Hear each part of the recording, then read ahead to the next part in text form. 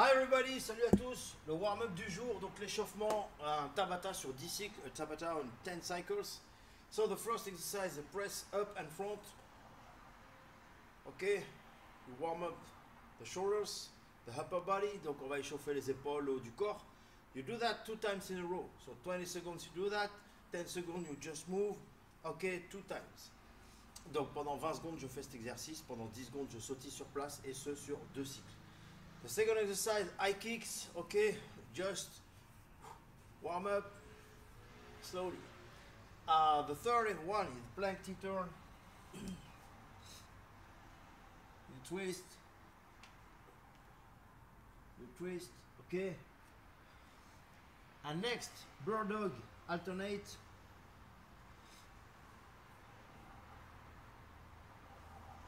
And the last one is the Y pro.